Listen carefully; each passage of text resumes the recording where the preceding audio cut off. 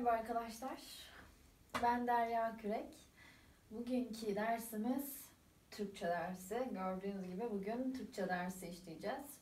Hadi bakalım hemen dersimize geçelim. Şimdi ilk olarak içindekiler bölümüne bir bakalım. Bugün neler göreceğiz? Şimdi ilk olarak Çiftlik Macerası adında bir okuma parçamız var, bir metnimiz var. Onun sonrasında metinle alaka ala, metinle e, ilgili e, etkinliklerimiz var. Dil bilgisiyle ilgili etkinliklerimiz var. Sonrasında birinci, Biricik Dünyam diye bir şiirimiz var. Daha sonra tekrar etkinlikler ve tema değerlendirme çalışmalarımız var. Evet, temamız do- doğa ve evren temamız. Hazırlık sorularımız var.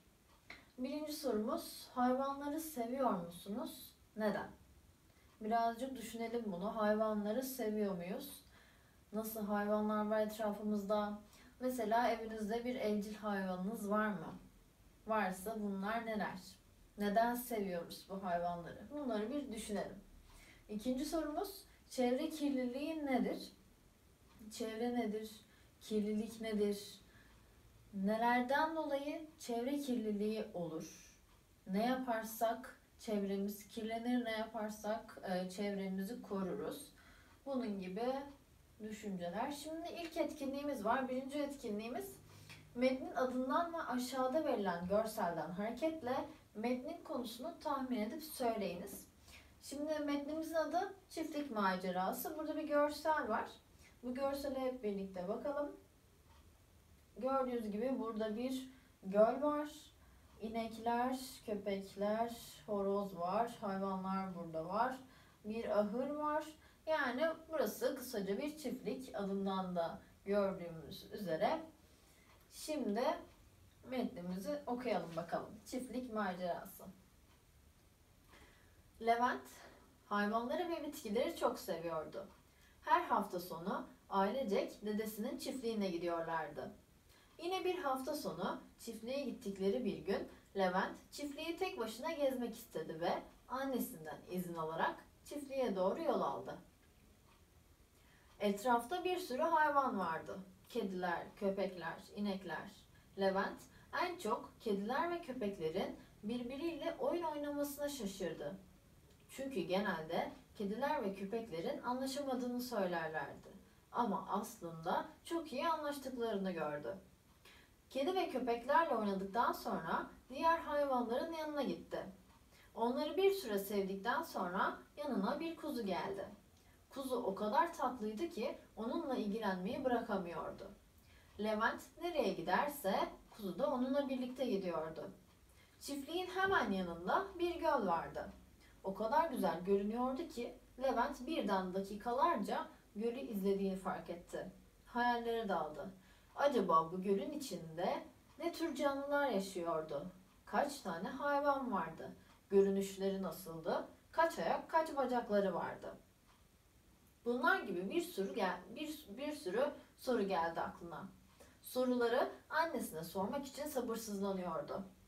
Aklına bazı insanların gölleri, denizleri nasıl kirlettikleri geldi. Oysa annesi ve babasıyla belgesel izlediğinde çevreye atılan çöplerin canlılara ve çevreye zarar verdiğini görmüştü. Çevreyi kirleten insanlar çöplerin canlıları olumsuz yönde etkileyeceğini düşünmemişler miydi? Biraz bu konuyu düşündükten sonra tekrar çiftliği gezmeye başladı. Yavru bir köpeğin gölün karşı tarafına atlamaya çalıştığını gördü. Galiba yavru köpek suyu sevmiyordu. Çünkü suya biraz değince irkilip birden geri çekiliyordu. Koşarak köpeğin yanına gitti. Köpeği kucağına alıp karşıya geçip geçemeyeceğini düşündü. Yüzme biliyordu. O yüzden yapabileceğine karar verdi ve yavru köpe köpeği kucağına alarak gölün karşı tarafına rahatlıkla geçti. Yavru köpeğin istediği şey olunca oradan oraya sevinçle koşmaya başladı. Yavru köpeğin çok sevindiğini gören Levent de çok sevindi. Bu olayı anlatmak için hemen annesinin yanına gitti.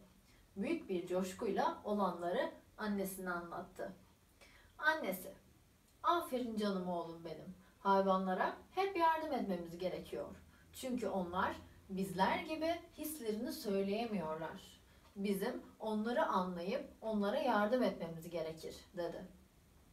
Levent yaptığı şeyi annesi onaylayınca çok mutlu oldu. Artık hava kararmaya başlamıştı ve evlerine doğru gitmek için yola koyuldular.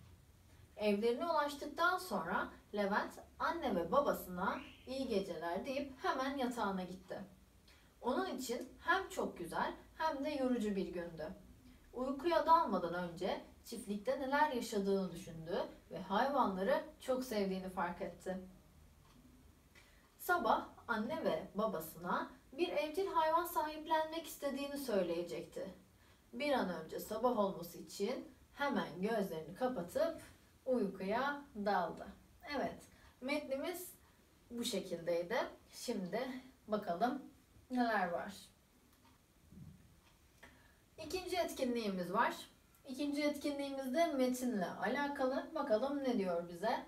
Su damlalarının size soruları var. Bu soruları okuduğunuz metne göre cevaplayınız. Şimdi dört tane sorumuz var.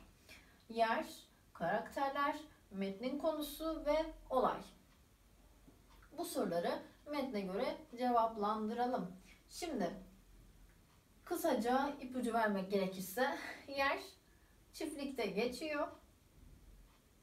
Ee, son bir kısmı da e, evlerinde geçiyor. Karakterler e, başrolümüzde Levent var. Levent e, annesi aynı zamanda var. Metnin konusunu zaten siz tahmin edecektiniz. Olayı da zaten bilmeniz gerekiyor. Metnin konusunun içindedir zaten. Şimdi hemen diğer etkinliğimize geçelim. Evet, üçüncü etkinliğimizde yine metinle alakalı. Metinde geçen aşağıdaki kelimelerle birer cümle kurunuz demiş. Bakalım burada beş tane kelimemiz var. Bakalım bu kelimeler neymiş?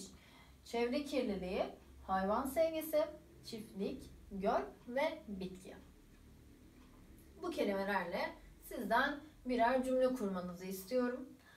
İsterseniz metinden de esinlenebilirsiniz. Çünkü bunlar zaten metinden e, metinde geçen kelimeler. Oradan da esinlenerek, esinlenerek birer cümle kurun bakalım. Şimdi dördüncü etkinliğimiz. Dördüncü etkinliğimiz çok eğlenceli bir etkinlik.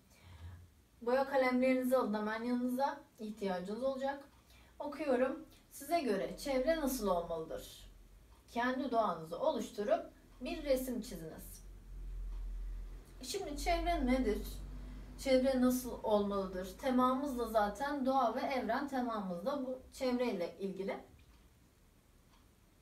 Birazcık düşünelim bakalım. Çevre nasıl olmalıdır sizce? Yeşillikler içinde mi olmalıdır? Yoksa binalar, AVM'ler şeklinde mi olmalıdır? Size göre nasıl olmalıdır? Bunu buraya çizmenizi istiyorum. Kendi doğanızı oluşturmanızı istiyorum. Bir diğer etkinliğimiz, beşinci etkinlik. Beşinci etkinliğimiz bir dil bilgisiyle alakalı. Hemen okuyalım. Aşağıda buluttaki cümlelerde altı çizili kelimeler doğru yıldıza gitmeyi bekliyor. Hadi kelimelerin anlamlarına göre yıldızlara yazalım. Şimdi üç tane anlam var. Bunlar neymiş? Birincisi terim anlam, gerçek anlam ve mecaz anlam. Cümlelerimizi okuyalım. Ortalık yine savaş kokuyor. Buradaki altı çizili kelimemiz kokuyor. Ayşe kollarında bir kedi tutuyor. Buradaki alt çizili kelimemiz kollarında. Üçgenin iç açıları toplamı 180 derecedir. Burada da üçgen ve açılar kelimelerimiz altı çizili. Hadi birazcık düşünelim. Hangisi terim anlam, hangisi gerçek anlam, hangisi mecaz anlam bulalım ve kelimelerimizi yıldızlarımıza yazalım. Evet, şimdi bir sonraki etkinliğimiz altıncı etkinlik. Altıncı etkinliğimizde gayet yapabileceğiniz kolay bir etkinlik. Doğa denince aklınıza gelen kelimeleri aşağıdaki not kağıtlarına yazınız. Arkadaşlarınızla yazdıklarınızı karşılaştırınız demişiz. 6 tane not kağıdı var. İstediğiniz kadar yazabilirsiniz tabii ki de. Doğa denince aklınıza ne geliyor? Benim doğa denince aklıma hayvanlar geliyor, yeşillikler geliyor, huzur geliyor, çiçekler, böcekler böyle bir tam bir huzur geliyor aklıma. Siz de bunları düşünerek aklınıza ne geliyor bunları söyleyebilirsiniz. Evet şimdi 7. etkinliğimize geçelim bakalım. 7. etkinliğimiz neymiş? 7. etkinliğimiz bir doğa olayıyla ilgili. Bakalım resimde gördüğünüz doğa olayı nedir? Daha önce gördüğünüz doğa olayla, olayları nelerdir? Yazınız. Resmimiz bu. Ağaçlar var ve burada bir doğa olayı var. Bakalım düşünelim bakalım burada buradaki doğa olayı sizce nedir? Rengarenk renkler var.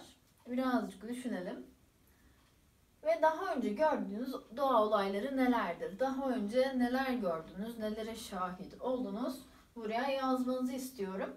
Buradaki doğa olayı artık söylediğinizi farz ediyorum. Gökkuşağı. Gökkuşağı gibi doğa olayı gördüyseniz buraya yazalım. Evet, şimdi 8. etkinliğimiz. Bakalım neymiş?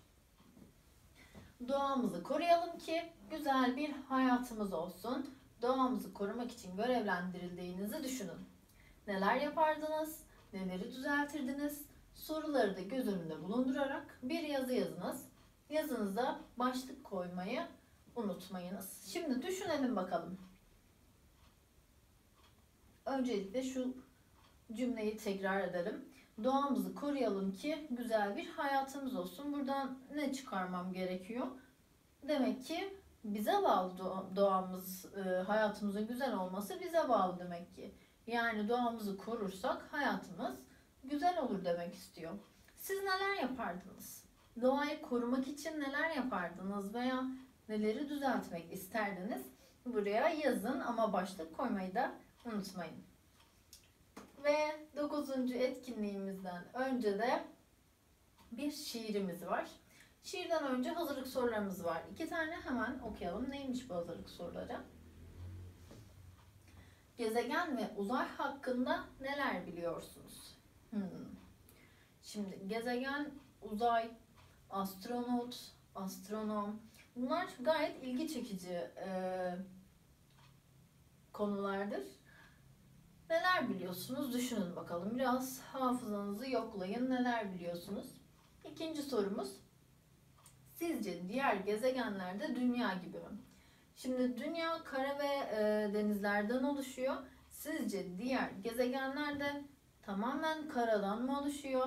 Tamamen denizlerden mi oluşuyor? Ya da dünya gibi aynısı kara ve denizlerden mi oluşuyor? Bunları bir düşünelim bakalım. Siz bunları düşünürken ben de şiirimizi okuyayım bir yandan da beni dinleyin ama. Evet. Biricik dünya. Tüm canlılar, iklimler, her şey benim içimde. Güzel görmek istersen dikkat et lütfen sen de. Her renkten bitkilerle bir tablo gibi her an. Karınca, karıncadan fillere hep iç içe deveran. Koskoca kainatta olsam da nokta gibi sayısız gezegende bak var mı benim gibi. Evet bu tatlı şiirimizden sonra bu şiirimiz de aklımıza kalsın. Bununla ilgili de çünkü sorularımız var. Etkinliklerimiz var. Hemen bakıyoruz 9. etkinliğimizde. Ne diyor bakalım. Şiirde geçen anlamını bilmediğiniz kelimeleri belirleyerek yazınız. Daha sonra bu kelimelerin anlamını tahmin ediniz. Tahminlerinizi kelimelerin sözlük anlamlarıyla karşılaştırıp yazınız. Şimdi 3 tane kutucuğumuz var. Buraya daha demin okuduğum şiirdeki anlamını bilmediğiniz kelimeleri buraya yazacaksınız. Buraya bu kelimelerde size neyi çağrıştırıyor? Sizce o kelimenin anlamı ne? Kelimelerin anlamı ne? Onları da buraya yazacaksınız. Ve elinizde sözlük alıp sözlük anlamlarını da buraya yazacaksınız. Evet, 9. etkinliğimizden sonra 10. etkinliğimize geçtik. Neymiş bakalım 10. etkinliğimiz? Gezegen bir yıldızın etrafında dolaşan gök cisimlerine verilen isimdir. Güneş sisteminde 8 gezegen vardır. Gezegenlerle ilgili bildiklerinizi yazınız ve arkadaşlarınızla paylaşınız. Şimdi hazırlık sorularımızdan da şöyle bir hafızanızı yoklayın. Orada da bir gezegenler nedir, ne değildir bunları bir düşünün demiştik. Burada da birkaç e, bilgi vermişiz. 8 tane gezegenimiz varmış. Biz demiştik ki diğer gezegenler de acaba dünya gibi mi? 8 tane gezegenimizin olduğunu öğrendik. Bunları bir düşünelim bakalım. Gezegenlerle ilgili bildiğiniz bir şeyler var mı? Bir hafızanızı yoklayın. Bu bölüme de yazın. Şimdi son etkinliğimiz, 11. etkinliğimiz bakalım neymiş? Aşağıdaki kelimeler ve kelime gruplarıyla anlamları eşleştiriniz. Kelimeleri okuyalım. Uzay, gezegen, dünya ve yıldız. Cümleleri okuyalım. Güneşe yakınlık bakımından üçüncü gezegen, Güneş ve Ay dışında gökyüzünde görülen ışıklı gök cisimlerinden her biri. Güneş çevresinde dolanan, ondan aldıkları ışığı yansıtan gök cisimleri, bütün varlıkların içinde bulunduğu sonsuz boşluk. Bir düşünelim bakalım. Eşleştirelim bakalım. Neymiş, ne değilmiş bir düşünelim. Eğer tahmin etmiyor edemiyorsak, eğer anlamlarını bilmiyorsak sözlüğümüzü açıp bakabiliriz tabii ki de sözlüğümüzden hem de öğrenmiş oluruz. Evet. Son olarak tema değerlendirme çalışmalarımız var. Doğa ve evren temasında neler öğrendik, neler gördük? Üç tane sorumuz var. İlk sorumuzu okuyayım hemen. Çevrenizi koruduğunuzu düşünüyor musunuz? Sizce çevreyi nasıl koruruz? Açıklayınız. Buna da değinmiştik yine. Nasıl koruyorsunuz veya koruduğunuzu düşünüyor musunuz? Ee, veya neler veya neler yapıyorsunuz? Bunu buraya yazarsanız çok sevinirim. Yazın mutlaka. İkinci sorumuz. Doğa ve evren temasında en çok hangi metin ve etkinliği beğendiniz? Nedenleriyle birlikte yazınız. Üçüncü sorumuz. Geri dönüşüm için yaptığınız çalışmalar var mı? Varsa bunlar nedir? Bunu da buraya yazın. Lütfen tema değerlendirme çalışmalarımızı yapalım. Bugünlük bu kadar. Kendinize çok iyi bakın.